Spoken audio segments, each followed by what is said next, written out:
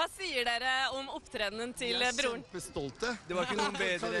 Overlegen. Flott. Mange Han kommer, til, han kommer til å ta Norge til finalen i Baku. Det er garantert. Jeg kan garantere for hans seire. Finale Du vinner. vinne. Du vinner, du vinner. vinner i Baku. Jeg stoler på deg. Du vinner. Vi tror på deg. Norge har gjort riktig valg. det er så mange som venter, så jeg må gå og ta deg. Han, han, vil ikke, han, vil, han kommer til å gjøre det bra i Baku. Det er garantert. Den sangen der kommer til å gjøre det bra i Øst-Europa og alle disse russiske statene. Så Norge har gjort et godt valg.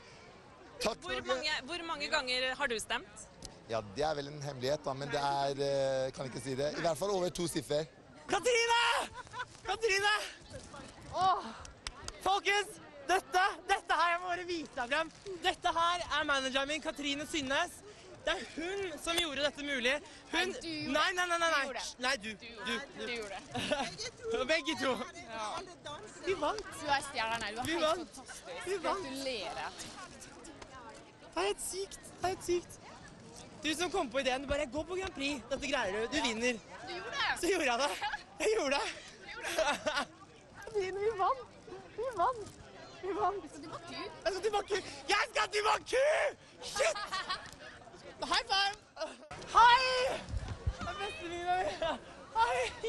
Jeg vant! Hvor sykt er ikke det? Og det er takket være alle dere.